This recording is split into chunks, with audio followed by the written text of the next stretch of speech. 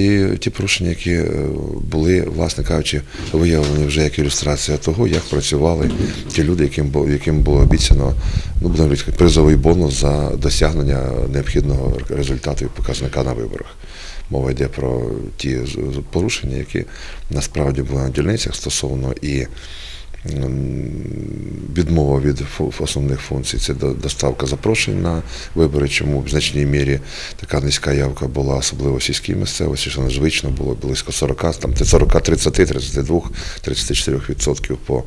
тим районам, які зазвичай мали 50-52 відсотки, по Чернухам до 60 відсотків ще на минулих місцевих виборах.